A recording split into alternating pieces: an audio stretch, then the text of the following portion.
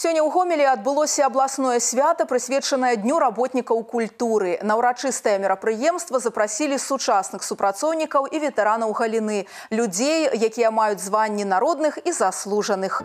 Іх работа арганізоўваць святы і фестывалі, здымаць кінастужкі і працаваць у бібліятэках. Але сёння спяваюць і танцуюць для іх.